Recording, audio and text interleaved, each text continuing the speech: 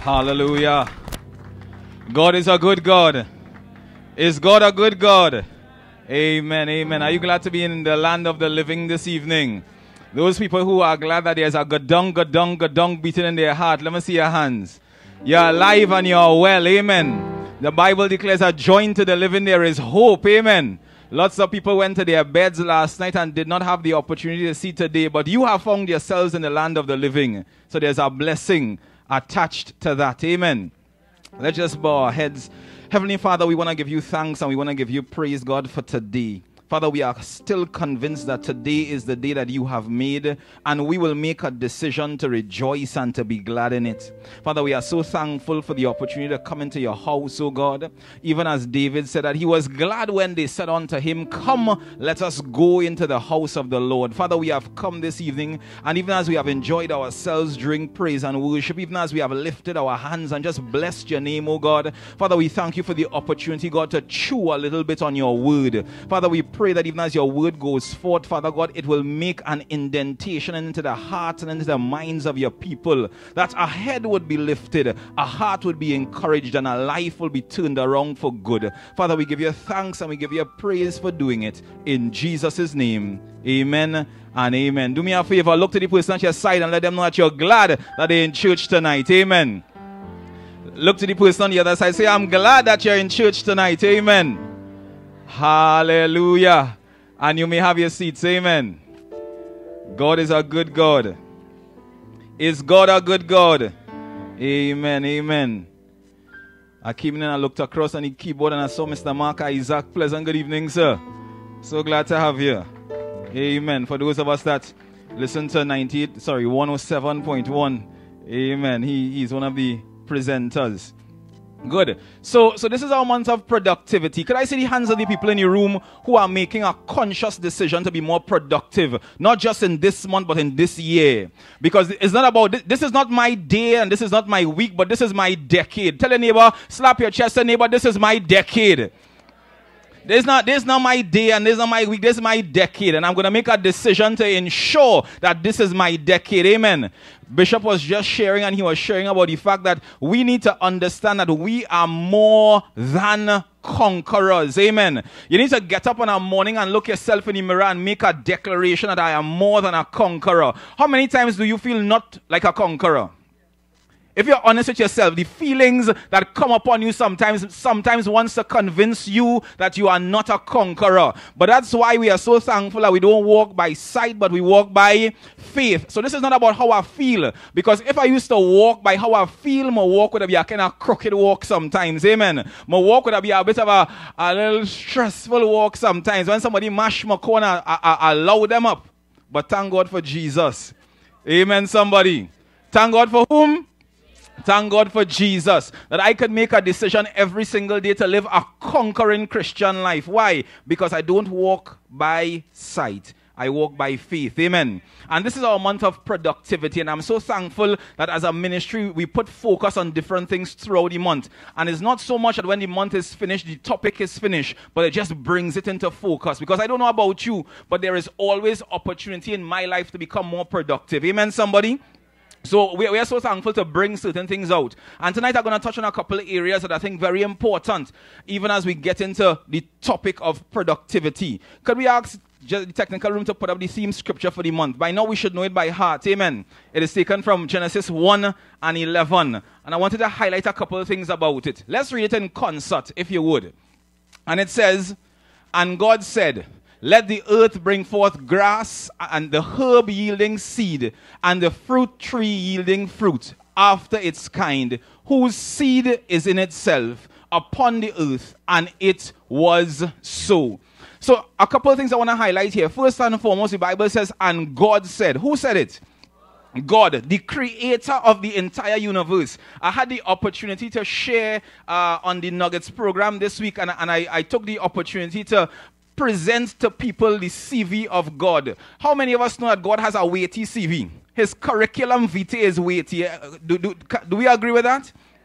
I thank God for your CV. Some people have uh, a, a five passes, some people have a 10, some people have a 20, some people have a first degree, some people have a second degree, some people have a third degree, some people have more degrees than a thermometer. But Father God has a weighty, weighty, weighty CV. Amen, somebody. So, as we understand who He is, we understand that it is God who is saying this. And once God says it, that settles it. Amen, somebody. So, once God says it, it settles it. So, He says, Let the earth bring forth grass, the herb yielding seed, and the fruit tree yielding fruit after his kind. When I was going through this particular scripture, I had to ask myself, Jared, are you sure that the produce that you are producing is it, it is well, after its kind is one, but is it something that you are sure that you want to reproduce? Do you think that you are producing? Because there's one thing to produce and it's something entirely different to reproduce. So are you sure that what you are producing is, is good enough to be reproduced? Somebody asked somebody a question once. Would you follow you? If you had the ability to follow you, would you follow you? And I, I would like to think that the, the answer to that question is yes. But sometimes, if we are brutally honest with ourselves, sometimes we, we kind of bounce our toe a little bit. Sometimes we are pulled off course a little bit. Sometimes we just do some shepherdness. Oh, they didn't say nothing. Yeah. Sometimes we do some shepherdness. Amen. And, and sometimes you, you, you constantly have to be asking yourself the question will, will you follow you? If you had the ability to follow yourself, would you do it wholeheartedly because why? That person is leading well. I thank God so much for His grace because His grace could pick us up when we make mistakes sometimes. But consistently put yourself in that place to answer that question. And thank God for His grace to be able to carry you through. So it said, listen, fruit yielding tree, yielding fruit, sorry, after his kind, whose seed is in itself. And that particular verse of scripture just shouts something to me. It says to me, Jared, every single thing that you want to achieve on the face of this earth, within yourself, you have the capacity to get it done. Do you believe that tonight? Every single thing that you want to achieve on the face of this earth, you have the capacity within yourself to get it done by the grace of God because Father God himself has done it. Because this verse of scripture in Genesis 1:11 echoes down what is said in Genesis 1:28. Again, a very popular verse of scripture. So let's look at Genesis 1:28. And God blessed them. In other words, God empowered them to prosper. In other words, God ensured that everything that they needed to make it was put in them. Look to neighbor right square in the eye in the koro koro eye and say, neighbor, they in here, they in here, say, neighbor, everything you need to make it is on your inside. I, I, I, don't care what it is. Is it a relational thing? Everything you need to make it is on your inside. Is it a social thing? Is it an occupational thing? Is it an academic thing? Everything you need to make it is on your inside. Amen. And God blessed them. Amen. And God said unto them, Be fruitful and multiply. So if it is you're looking around your life on a daily basis and you find that you're not seeing the fruit that you are really supposed to produce, then something probably is not where it should be. And God probably has to work some stuff out based on what He has already worked in. Amen, somebody. So be fruitful and multiply and replenish the earth and subdue it. So you see that that be fruitful and multiply. If it is you translate it back to Genesis 1 and 11, it can be equated to us understanding that within yourself there is seed that can produce fruit. Amen, somebody. So, what do you need? What have you been losing sleep about? What have you been up restlessly in the night thinking and tossing and turning and wetting your pillow with anxious sleep about. I have good news for you. Every single thing you need to make that thing happen is on your inside. Amen, somebody. And all God needs from you to do is to just rely on Him in faith. Don't come to Him crying. Don't come to Him complaining. Don't go to your neighbor grumbling. Come to Him and say, Father God, I understand that within me there is everything I need to make it. So let we go. So let we go. Amen, somebody. Oh, watch me kind of look at me with that tuna voice. So let we go. Amen. Because, because this is not about stagnancy. Amen, somebody. This is our year of divine fruitfulness. Are you seeing the fruit?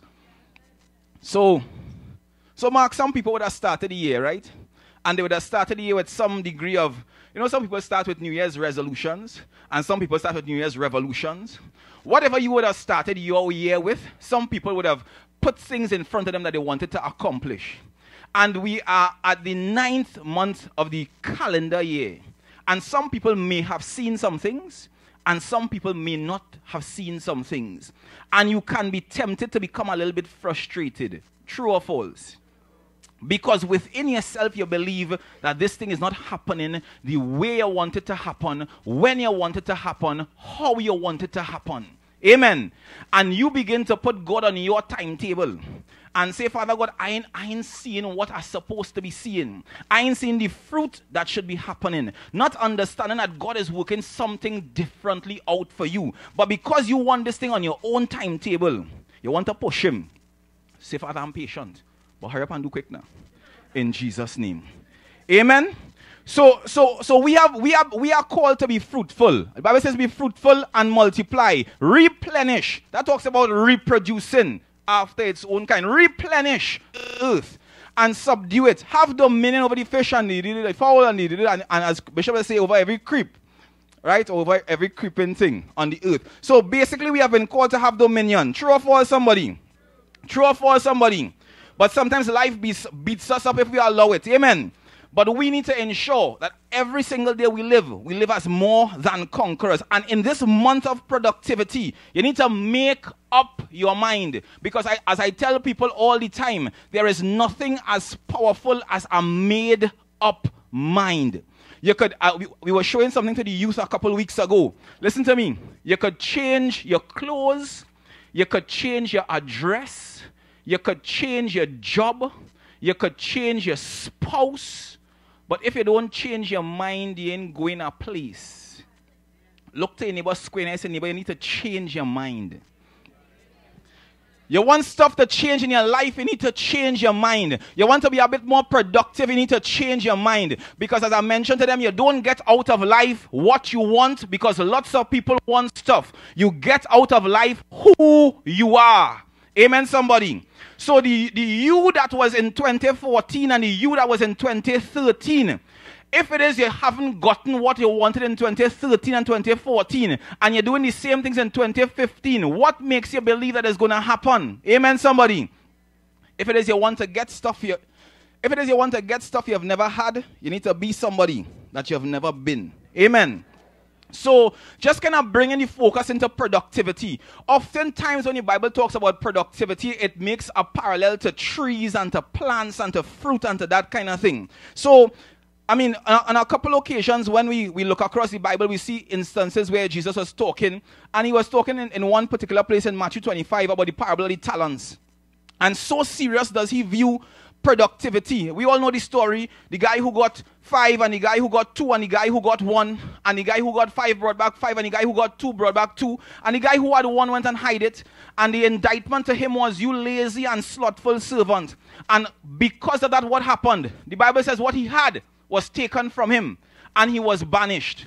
And that speaks squarely to productivity. So God has given you something. If it is you stop, and for a second, take an introspective look within yourself. What has God blessed you with? And have you been maximizing the potential of it? If you're really honest with yourself, and some people tend to look down on their giftings and look down on their talents and say, well, with this, where's this? And somebody with less talent and less giftings than you doing 200% more. Why? Because they understand that what they have is tremendous. And if they choose to trust God, they understand as well that little is much in the hand of the master. So to you, it might look like a ming-pilling thing, but put it in God's hand and trust Him with it and have a diligent heart and have a hard-working mentality. God will turn little into much once you choose to be faithful. Say amen, somebody. But we have other people who make a decision to be lazy. Listen, the, the book of Proverbs is littered with things that happen to lazy people. Amen. Look to anyone, say, don't, don't be lazy, you know. Because if it is you're lazy and you're consistently lazy, when you're coming up this street, I go cross. Oh, you ain't telling them that bad. no, no, no, no, no. But, but, the Bible talks about it. Just, just imagine. The Bible makes reference to a man who is in his house. He's so lazy. He didn't want to leave his house. And somebody telling him to leave his house. And he said, to, to leave your house and go and look for opportunity. He said, no, no, no. I have lions outside. I can't go outside right now. Things, things outside might, might be in my favor. I can't go outside. It have lions outside. Listen, you cannot afford to be lazy. And some people use this laziness as, as a mask and as a cover for Christianity. Well, you know what? Bless the Lord. Father God is going to work it out.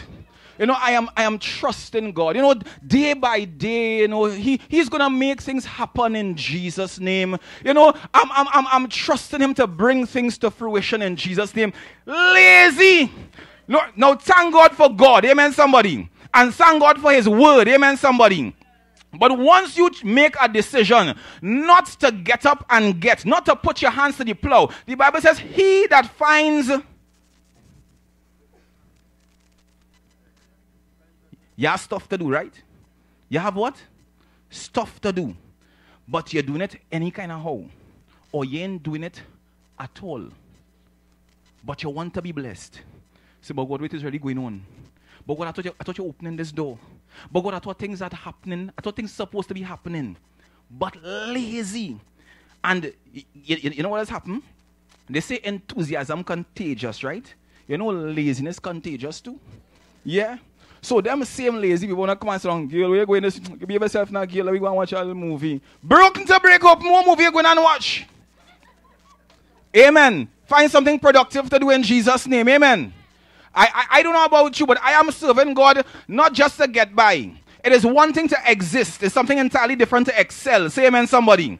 It is one thing to survive, it's something entirely different to thrive. Say amen, somebody. And you need to make a decision to thrive. You need to understand that the God that you're serving is the monarch of the entire universe, but He's depending on you to get up and get. Say amen, somebody. And everybody that sit down and does is saying, you know, I could go and do this thing, you know, but, you know, I could go and do that thing, you know, but. You know, if this thing happens so and so and so, I'll be able to do it, you know. But, listen, when you say but, you're arguing for your limitations. And like I tell people all the time, a but is the most fleshly part on your whole being. And when you're relying on your butt, you're relying on the arm of flesh. So stop saying but. Say, I am going to do this thing in Jesus' name. I'm going to get that degree in Jesus' name. I'm going to have a better relationship with God in Jesus' name. Family restoration is coming my way in Jesus' name. People, well, so, so we're going to well, I want to try and make it happen. Wait, how, how you going, I want to try and make it happen. Brother, let me borrow for a second now. Let me borrow for a second. Man say, how oh, this man calling me this other night, but I don't know what is really going on here. Right. So this is that chair. Amen. Amen. Good. Try and push that chair. He try and push that chair. What you do? He push it. Amen. Thank you so much, sir. So it's one thing to try and do something, but it's something entirely different to, to actually do it. Amen. So people, you know, are trying to do this and are trying to do that. Hey, you serving the King of Kings and the Lord of Lords. What try talk you coming around me with? Amen.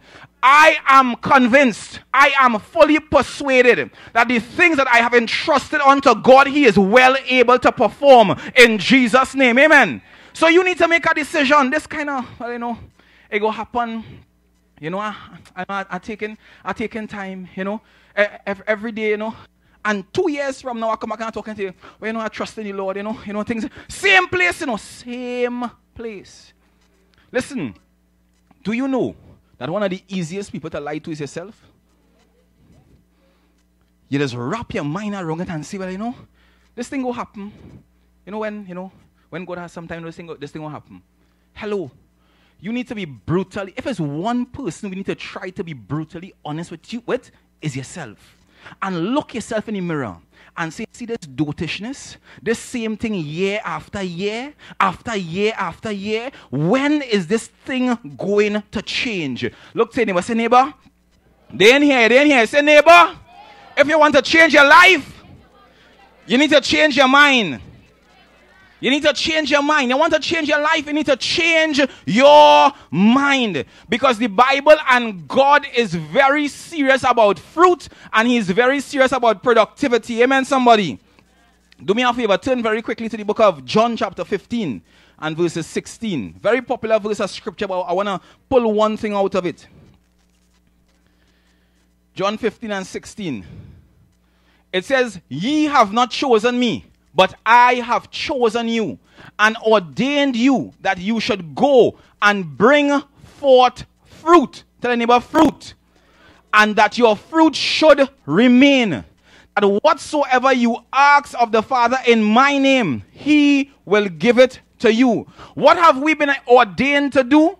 To go and bring forth fruit. Listen, it's all about fruit. My life is about fruit. And fruit could manifest itself in my job. Fruit could manifest itself in my home. Fruit could manifest itself in church. Once you are bearing fruit, you are bringing pleasure to Father God. Our job description as believers is to bear fruit. Amen, somebody. Do me a favor as well. Turn to Luke chapter 16, verses 6. Sorry, Luke chapter 13, verses 6 to 9. Luke 13, verses 6 to 9.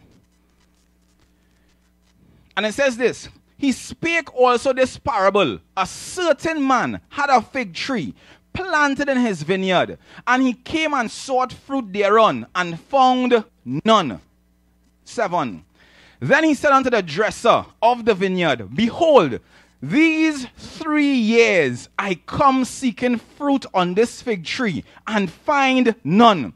Cut it down. Why cumber it in it the ground? See this key, everything has.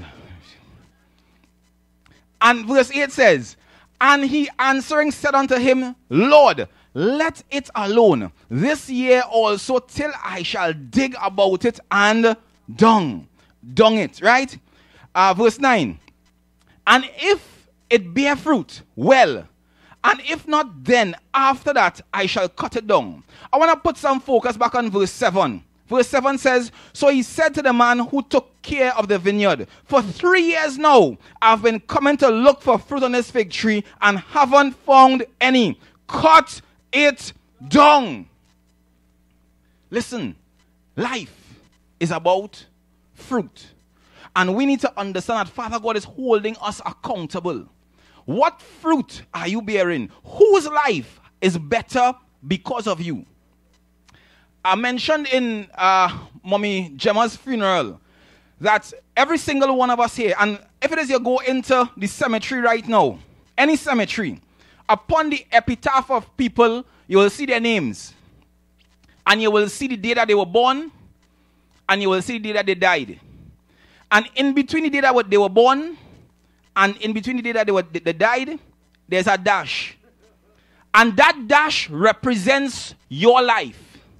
What are you going to do with that dash? Is somebody's life going to be better because of your dash? Is somebody's life going to be improved because of your dash? Are your children going to be better because of your dash? Is your finances and your career and your neighborhood and your workplace going to be better because of your dash? I don't know about you, but I want to have a dash of significance. Amen, somebody. Look to neighbor. Say, neighbor, you want to have a dash of significance. So, so very, very important. We need to have a dash of significance. So, I, I just want to highlight six things this evening. C- could I highlight, highlight six things? I want to highlight six things very quickly that I believe very important to us living productive lives. So, if it is here in writing plenty, just write these six. Amen. If you're writing plenty, write how much? Write these six. So, the first one, the first one is tilled soil. You want to live a productive life? You need to have tilled soil. Proverbs 28 and 19. Let's turn there quickly. Proverbs 28 and 19. We need to have tw- tilled soil. So I, I said I was going to keep it along the lines of agriculture. Tilled soil. It says this He that tilleth his land shall have plenty of bread, but he that followeth after vain persons shall have poverty enough. This particular translation says vain persons. One translation says frivolous and empty pursuits. That person that goes after those pie in the sky kind of things, those things that will tend to not happen. You see, that person that is caught up with fantasies is wanting to be a dreamer. Being a dreamer is okay. But guess what? You need to wake up and work on your dreams. Say amen, somebody. So he that tilleth his land shall have plenty of bread, but he that follow after vain pursuits or persons in this regard shall have poverty enough. Just imagine that, right? Do you imagine that there's a poverty that is not enough? You know, some people have a poverty that is not enough. Some people will, you will have poverty enough. You, you know when people have poverty that is not enough? You see when you're still getting by, so I was talking to somebody. I was talking to somebody last week. I was in South working, right? And um, this guy home. I talk about able-bodied man. The man strong, strapped, and he home. And I talking to one of the persons in the household. And they say, well, yeah, that is my uncle. My aunt has given about $1,500 a month. And my next aunt has given about $1,500 a month. I say, what I need to do is to come in that house and hit your aunt a clout and hit your next aunt a clout and then find the, the, the, your uncle and hug him up because he had to be doing something good. The man ain't doing nothing, staying home and scratching. So for him, guess what? The $3,000 mightn't be all that he need, but it is not poverty enough. You know when he'll wake up and get? When the aunt tell him, brother, it's either a suck seed or a suck salt. So get up and get. Right? So when one aunt tell him that, and a next aunt tell him that, he will come to a place of poverty. That is enough. And he will raise up and say, boy, things little tight inside of here. Flour more than water, or water more than flour. Don't go and find something to do. Amen. So the Bible says, He that tilleth his land. In other words, it talks about a breaking up of the land. If it is you want, and those people that in agriculture will understand, that if it is you have soil, and you really want to give the seed the best opportunity to grow, you need to till up. You need to till up the ground. And that tilling up talks about making it an environment that can produce fruit. You know what is an environment that could produce fruit? An environment that you are consistently exposing to the elements that will cause growth to take place. I'll touch on a couple elements just now. But tilling also gives you the, you the opportunity to break up the soil. You know, when you break up the soil, what has happened? The root has the opportunity to go a little deeper. Amen, somebody? That's why the Bible says that it is the engrafted word of God that is able to save your soul. You know why is the engrafted word of God? The engrafted word of God is the word that gets down into your system and sticks. It is only that word that has the capacity to change your life. Oftentimes, listen, people come inside of here on a Sunday morning, not in this house, right? In, a, in, a, in a next place, not in this place, right? People would come in our auditorium, pack it full, listen to the word, come out. Say, that was a good, that was a good word. Oh my, that was a good word. Uh-huh. What did the pastor talk about? Um, well, you know, well, he was preaching. Uh, you know, he was, he was preaching, you know, and he was excited. I mean, he was, you know, he had the place bouncing, right? But, you know, um, yeah, what, what the pastor talk about? Well, hmm, hey, this thing is not about a carnival band. This thing is not about coming here and saying, woo, and woo. This thing is not about them kind of gymnastics. This thing is about you making a decision to I listen, you don't you don't need you don't have to get the 40 minutes of this message. You know what you need to get? Probably just one snippet out of this message that you're going to hold on to. And you say, God, you see this are going to cause this to bring change. Psychologists have proven that when people want to bring about change in their life, it's not about the huge big, large changes that come that's going to cause it to change. You know what it is? Is the incremental things that you do on a consistent basis. So if you get nothing, make a decision to take one thing from this word and say, God, you see this one thing? I want this thing to come into my spirit and stick because it is this one thing that could change my life. Other than that, you know what happened? You come to church tonight? Hey, Ija here. Hey, Bishop, all right, all right, okay, I, I was here. And you tell God, check. Present God. I was in church tonight. So send my blessing my way, right? Send my blessing. Right? And you want it now. So so this is not about roll call. Tell a neighbor, say neighbor. This is not about roll call. But this is about the word that's gonna change your life.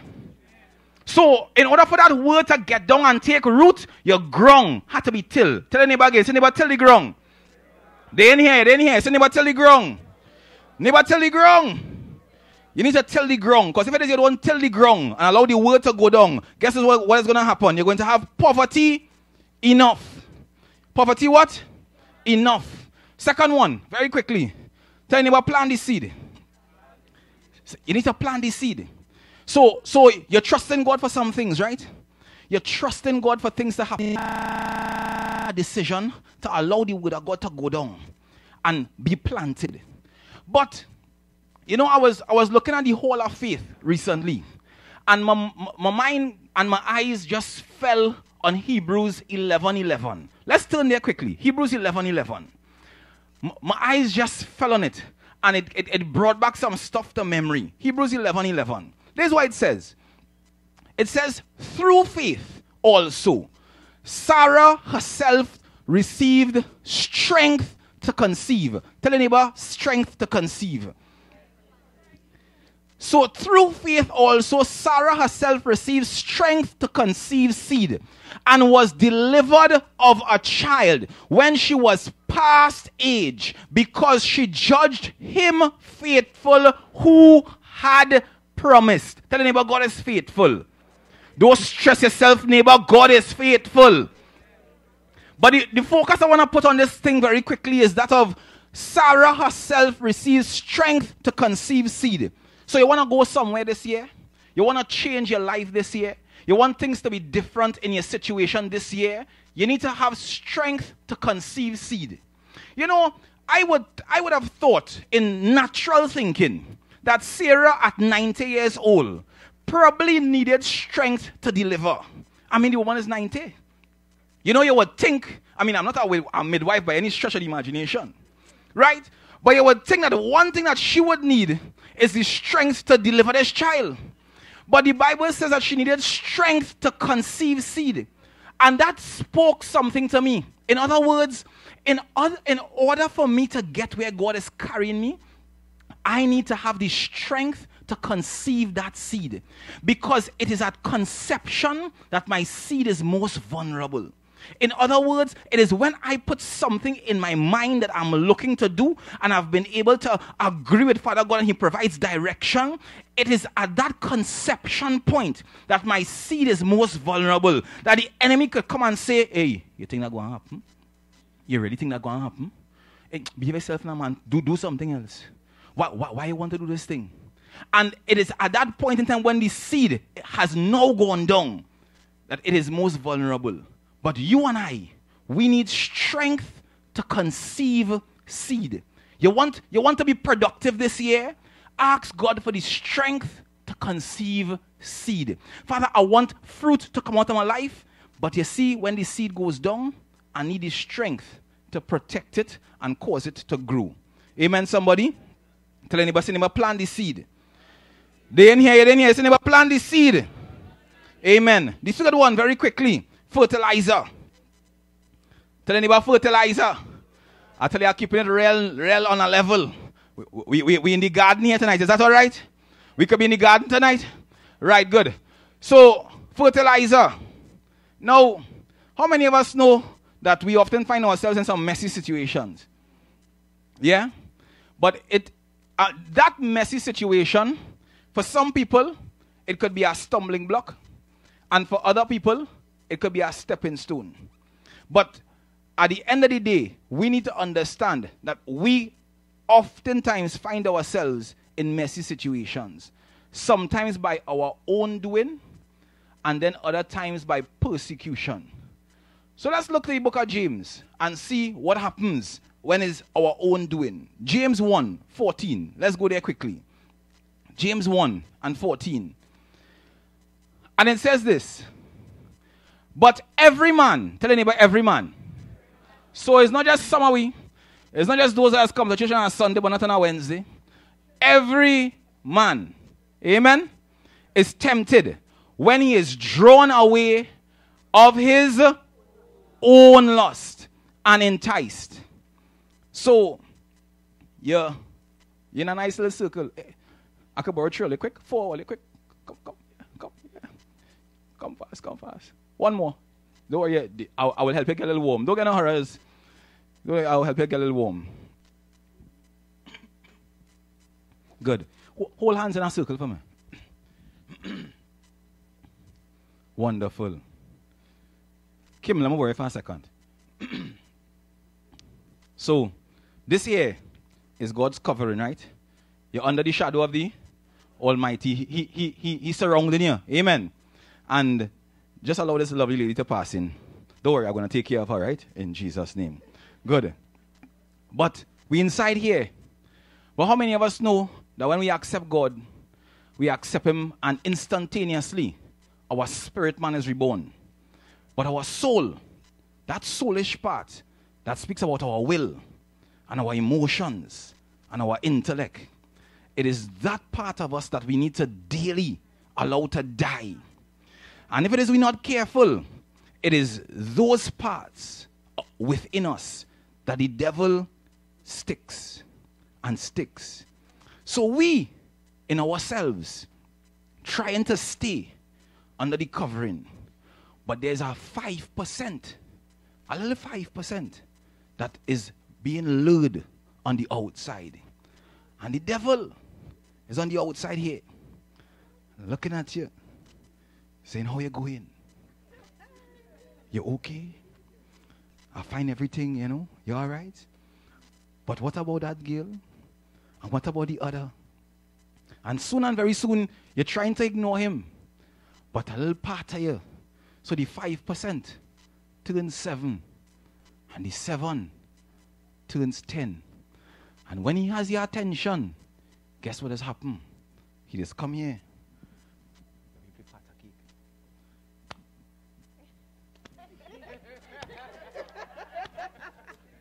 You're still in the circle. Amen. You're still in the circle? Yeah, but you're flirting with? Yes, so. Right? So soon and very soon, you start to enjoy the game. Amen? And all of a sudden, the circle getting too small. And what happened? But guess what happened?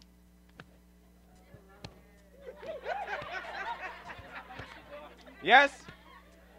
And you don't even realize that you're outside the circle, you're outside the covering.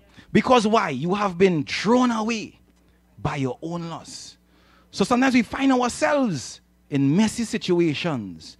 Not because of the devil. Don't blame the devil so much. The devil in the corner say, Oh Lord, why the devil me so? Yes, he was tempted, but you were drawn away by what? By your own loss. But you could make a decision to take that mess and make it a message. Because God continues to be gracious and merciful. Amen. Your hands together for them quickly. Thank you so much. So, so on one side, we are drawn away by our own loss. On the other side, it is true persecution. Tell anybody persecution. First Peter 5 and 8. So we're still talking about fertilizer, the things that could bring mess in our lives. First Peter 5 and 8. Here's what it says. Be self-control. Tell anybody self-control. Be self-control. Be alert. Because why? Your enemy, the devil, prowls around like a roaring lion, looking for someone to devour. Amen. So, all of us are very familiar with the story of Joseph. Joseph, minding your own business, minding your own business. You, little talkative, but minding your own business. And find himself in a pit. Amen. But God had a plan. And from the pit he went away. Potiphar. But guess what? Mind your own business. Being, being God's study. The man doing he work, you know. The man doing he work. Devil busy. The man doing he work. All of a sudden, the woman I get cocky. Hey, hey, hey, hey. Husband, where you get this one from? Hey. Right? And leave, leave the cloak in your one hand running for your life because pressure. Right? find himself in prison. But God is faithful, amen, somebody. And we all know the story from the prison into the palace. But guess what? He went through persecution. And if it is you're not careful, you might find yourself in a situation that you're under persecution and you begin to blame God and say, God, but why this? And God, but why? I, listen, Joseph had real opportunity to blame God, you know. The man, I mean, he's a little talkative, but he gets some clothes and some kick and some cuff and some chuck and end up in a pit. The man said, it's okay, restoration. Finding seven Potiphar house. Doing it. The man is a good steward. Things start to grow under the man's hand. As a matter of fact, the literal translation of Joseph, it means to increase. So the man was bringing increase. Everything that he put his hand to was prospering. Amen. But guess what? Persecution. Listen, we have to make a decision. I understand that all things work together for good to them that love God and are the called according to his purpose. So, Father, I'm not going to, I'm not going to stress myself about this thing. Because if I stress myself about this thing, the doctors and them going to make money on me. Because why? Is hypertension, is high blood pressure, is ulcers. No, no, no, no, no. I ain't going down that road at all. In Jesus' name. Amen, somebody. So I'm going to make a decision to rely on God. And I'm going to also make a decision not to be drawn away and enticed. So, two types of messy situations those that you find yourself in because you are drawn away, and those that you find yourself in because you are persecuted. On either side, my simple admonition to you is to run into the, into the everlasting arms of God and rely on Him for direction. Amen, somebody? Very quickly, very quickly. So, the first one was what? I, I ain't hear I ain't hear The first one was what? Tell this all. The second one was what? Plant the seed. The third one was what? Fertilize it. The fourth one, you need to expose it to some sun. You need to expose it to some what? Sun. But this sun is not the S-U-N. This sun is the S-O-N. Amen, somebody. Look to neighbor. Say, neighbor, you need Jesus. You need Jesus. You need Jesus. Amen, somebody. Listen, a lot of the times, have you ever found yourself in a situation that you just don't know what to do? Anybody here? Let me come on this side of the church. Anybody here? I, I, mean, sometimes we find ourselves in, a, in situations that we just we just don't know what to do. So, what do you do when you don't know what to do? A J E S U S. You need to run to him. Amen. L- look at what Psalm 119, 130 says. Psalm 119, 130. Let's go there quickly. Psalm 119, 130. Let, let, let's see what it says very popular verse. I could, uh, so it says the okay, the unfolding. One translation says the entrance. The Bible says that the entrance of your word it gives what light. Why? Because the circumstances around us sometimes bring darkness. I can't see. I don't know what. I don't know where to go. I don't know how to go. But the entrance of God's word brings light. Malika was testifying just now, and she was saying She's so thankful for being in God's word because in the Bible talks about in the last days, in these times here, if it is you're not careful, men will tie you up if it is you're not in your word. Amen. So she was talking about the importance of being in her word. But more than that, if we are to navigate the challenging circumstances that we face every single day, you're going to need God's word. You're going to need what? You're going to need God's word. So the entrance of God's word, it brings light and it gives understanding to the simple. Some people might say, but Pastor J, how you call me simple? I, I, I ain't stupid. No, but guess what? If it is you're unaware of something or you lack knowledge in a particular area, in that area you are simple. So it brings what? It brings what your way? Understanding. Amen, somebody? So tell anybody, say, neighbor, you need this sun. You want to be productive, you need this sun. Amen. Amen, somebody. Number five, you need water. You need what? Water. And as we all know, in several places in scripture, the Bible refers water to the, the Holy Spirit. Amen? And, and for me, I don't know about you, but for me, in this life, as a traveler along, along the road of life, one thing is of utmost importance, and that one thing is divine direction. Because life could be very frustrating if you don't get direction. You could spend 20 years scaling a wall on a ladder and you're fighting people going up that ladder. It's cough and it's kick and the sun beating on you, and birds coming and blessing you, and you're going up the ladder again, and sun beating and rain falling, and you get to the top of the ladder, and you say, ah. And when you check yourself, the ladder leaning up against the wrong wall. Because why? You went in your own strength and didn't seek direction. But you need direction. Tell anybody softly, say anybody need direction. We need divine direction. Amen, somebody. John 16, 13. Let's turn there quickly. John 16, 13. We need direction. You want to be productive? You need direction. This is not about you being bright. This is not about you being logical. Because as I, as I always tell people, God does not have to make sense. All God has to make is God. And you might look at something and might say, but that's, this is not making sense. It does not have to make sense. All it has to make is God. So John 16, 13 says, Woo. All right, good. Praise the Lord. My eyes still good. I see plenty carrots. So it says this. But when he, the spirit of truth, the truth giving spirit comes, he will guide. Tell anybody guide. He will guide you into all truth, the whole full truth. For he will not speak his own message on his own authority, but he will tell you whatever he hears from the Father. He will give you the message that has been given to him, and he will announce and declare to you the things that are to come that will happen in the future. Just going right back up, it says, He will guide you into all truth. I don't know about you, but that talks about direction. Tell anybody direction. So you need some water because the Holy Spirit brings divine direction. And the last thing, number six, remove the weeds. Say, anybody remove the weeds. You need to remove the weeds. Very quickly, Mark 4 7. Mark 4 7. We need to remove the weeds. You don't like to mention amplified? You could give me a praise. All right, all right, it's big. All right, okay. Praise the Lord. All right, good. So Mark 4 7. And it says, And some fell among thorns, and the thorns grew up and choked it, and it yielded no fruit. So you want to be productive, you can't afford your seed to fall among the thorns or to be choked by the weeds. And when I read down in that particular account of scripture, it, it, it parallels those weeds to a couple of things. The cares of the world, the things that has caused you to lose, lose sleep in the night, the cares of the world is a, is a kind of weed. The deceitfulness of riches is about getting all you can and canning all you get and saying all you can. It's not about that, but it's about you understanding that God is your source. And the Bible says that it is He, God, that gives us power to get wealth.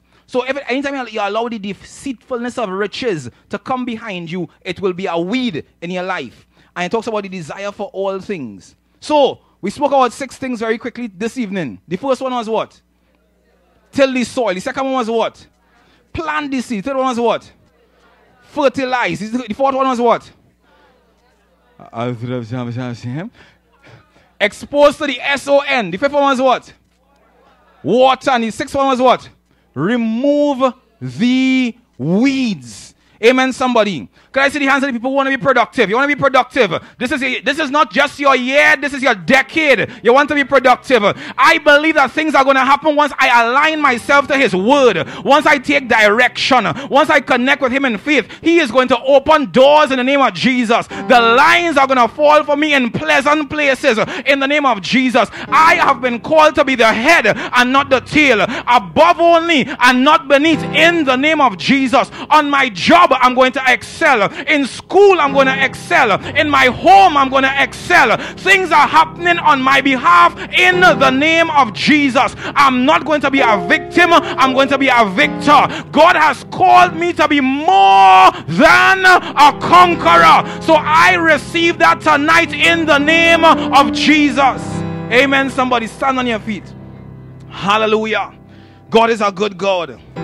God is a good God. We cannot be content with just going through the motions. God has called us to be fruitful. Say amen, somebody.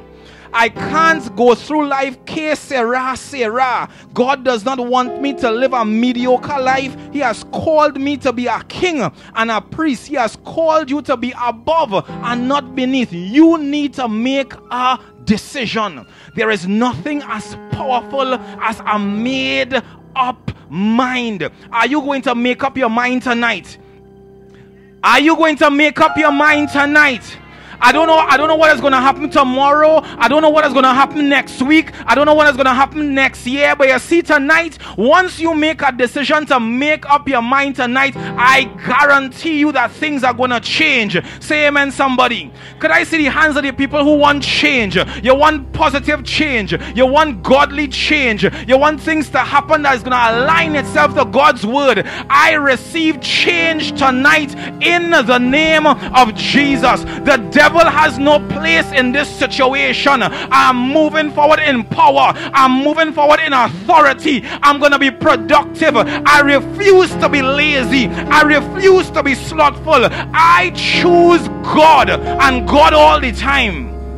Father, we bless you tonight. King of glory, we give you a high note of praise tonight. Father, as a people, we make a declaration from the depths of our heart that things are going to change. Our mind is going to change. Our life is going to change. Fruit is going to come out of our lives. People are going to be blessed because we connect with them. Our church is going to be better. Father, we give you thanks and we give you praise for growth and increase. We speak restoration. Father, we bless you and we give you praise for doing it in Jesus' name. In Jesus' name. In Jesus' name. Put your hands together for the King of Kings. Put your hands together for the Lord of Lords. He's a good God. Amen.